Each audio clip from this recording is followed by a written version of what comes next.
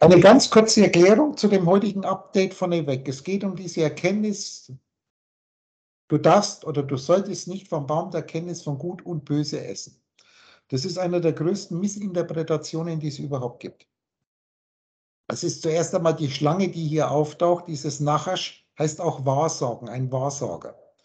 Und ich erinnere immer an diesen schönen, berühmten Moses-Film, die Zehn Gebote mit Charles Hessen, wo Moses dann mit seinem Bruder Aaron zum Pharao geht und er hat seinen Stecken, das ist die transversale gestreckte Anoge, und dann wirft er diesen Stecken vor dem Pharao hin und sobald er in die Longitudinale kommt, wird der Stecken es die Ecken zu einer Schlange, zu einer schlängelnden Schlange. Und dann kommen hier Priester vom Pharao, die sagen, guten Zauber können wir auch, lassen zwei Schlangen los und die gehen jetzt auf die eine Schlange von dem Mose los und dann frisst die Mose seine Schlange diese zwei Schlangen auf und dann nimmt er wieder die Schlange, zack, und dann hat er wieder den Anoki, Stecke. Das ist das Drehen, dieses Prinzip von der longitudinalen, sprich chronologisch raumzeitlichen Sichtweise in das ewige Hier und Jetzt, in die Transversale, die wir dann natürlich auch noch in die Z-Achse drehen müssen. Und dann ist jede Richtung, wo du schaust, ist eine Z-Achse in einem Spiegeltunnel, mhm. der sich letztendlich nur in dem Mittelpunkt befindet. Ich sage jetzt wieder Insider, die sich mit Holofeeling beschäftigt haben, wissen, was ich meine. Aber das Ewige, dieser Kampf um Gut und Böse, wenn du vom Baum der Kenntnis von Gut und Böse isst, und ich sage jetzt einmal frei übersetzt, dann wird dir ein Licht aufgehen, ein Bewusstsein aufgehen und du wirst sein wie Gott. Dann wirst du dieses E-Quadrat, die Energiequelle. Und eine Energiequelle braucht eben diese Polarität. Und jetzt muss man wissen, dass dieses Pol als 80, 70, 30 geschrieben, der Pol, die Darstellung der hebräischen Verbformen ist. Und die Verben sind VRN. Die erweckten polaren Existenzen. Mhm. Das sind die Zeitformen in der hebräischen Sprache, die eigentlich keine Vergangenheit und keine Zukunft kennt. Jetzt haben wir schon wieder so einen Widerspruch. Das alte Hebräisch, ich kann nicht oft genug darauf hinweisen, kennt ursprünglich grammatikalisch keine Zeitformen. Es spielt sich alles im ewigen Hier und Jetzt ab. Und was hier zur Vergangenheit und Zukunft geworden ist, ist einfach nur die Vergangenheit, ist der Perfekt.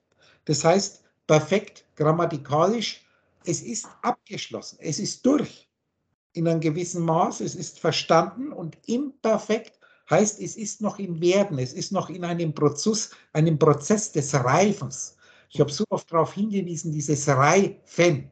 Ganz interessant, unser Rai als RAI geschrieben, 201.10 ist ja zuerst einmal der Spiegel, unser Zentralspiegel als Symbol für Gott, der Kopf des Schöpfergottes. Mhm. Und Pen, Reifen, Ben ist ja, hat es P, ist F, ist ein Aspekt Aspekelung hast ein Spiegelaspekt. Nur eine Spiegelung, eine kleine Facette aus dem heiligen Ganzen.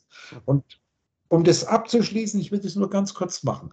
Du musst vom Baum der Erkenntnis von Gut und Böse essen, dass dir ein Licht aufgeht und jetzt denkst du einfach an eine Batterie. Genau. Wenn du den Plus- und den Minuspol über eine Lampe verbindest, dann geht dir ein Licht auf. Wenn du jetzt aber den Minuspol abisolierst oder bekämpft, das ist dieses Liebe deine Feinde, dann wirst du ewig in einer geistigen Finsternis leben. Und ich betone nochmal, Holofeeling überragt alles an theologischen Auslegungen und an Physik und an Naturwissenschaft und geistige Welt. Es ist ein vollkommen neues Weltbild. Und jetzt zum Abschluss, wenn du dir jetzt, wir denken uns jetzt irgendwelche Affen aus, die auf die Straße gehen und für Frieden demonstrieren. Eine absolute Demonstration von Geistlosigkeit und Unchristlichkeit. Eins mhm. der wesentlichsten Gebote meines Christentums ist, liebe deine Feinde, liebe all das, was dir böse, schlecht, verkehrt erscheint. Du brauchst diese andere Seite. Du hast eine einseitige Vorstellung von richtig, das ist die Richtung, in die du schaust. Es ist diese tausendfach die Sache mit der Tasse. Ja. Wenn einer das Gegenteil, das verkehrt, dann ist es für dich verkehrt. Und es gilt für alle Polaritäten, die es gibt. Du brauchst, um in die Heiligkeit zu kommen, die zwei Seiten. Gesundheit und Krankheit in der Verschmelzung ergeben die Heiligkeit. Hast du dich jetzt, du Geist, der du jetzt, wenn du an dich denkst, vom Computer sitzt und dir dieses Video anschaust, hast du dich die letzten zwei Minuten gesund oder krank gefühlt? Du hast dich in der Vergangenheit überhaupt nicht gefühlt, weil was du fühlst und was du erlebst, kannst du nur unmittelbar hier und jetzt als Information erleben. Du erlebst immer nur deine eigenen Informationen. Und die Frage, ob du dich gut oder schlecht gefühlt hast, zwingt dich zwangsläufig an deinen Körper zu denken. Und jetzt passiert dieses Eigenartige, dass du den Normalzustand, den du jetzt eventuell hast, gesund nennst. Und du machst jetzt diesen Normalzustand, den du gesund nennst, zu einem Mittelpunkt, wo du dir jetzt was vorstellen kannst in die Zukunft, wo es dir noch besser geht. Oder du schaust in die andere Richtung und sagst, da ist mir schlecht gegangen, da war ich krank. Wenn du natürlich dich jetzt krank fühlst, während ich dich frage, wirst du feststellen, dass du dich nur dann krank fühlst, wenn ich dich jetzt unmittelbar frage und du dran denkst. Aber du musst immer an deinen Körper denken, um für dich die Erfahrung zu machen, fühle ich mich, sprich dieser Körper, gesund oder krank, gut oder schlecht. Wenn du aber nicht an deinen Körper denkst, existiert der Körper nicht. Genau. Dann ist er heil. Die Heiligkeit ist nämlich die Verbindung dieser zwei Seiten. Ich habe das tausendfach erklärt und jetzt komme ich zum Griech. Dieses Bärchen, Krieg und Frieden, ist wie Sonnenschein und Regen. Und ich kann immer wieder nur tausendmal sagen, solange du den Krieg bekämpfst und nicht haben willst, kriegst du auch keinen Frieden. Aber Frieden ist nur ein anderes Wort für Entstehen. Ich sage für Sonnenschein und Krieg ist ein anderes Wort für Zerstörung.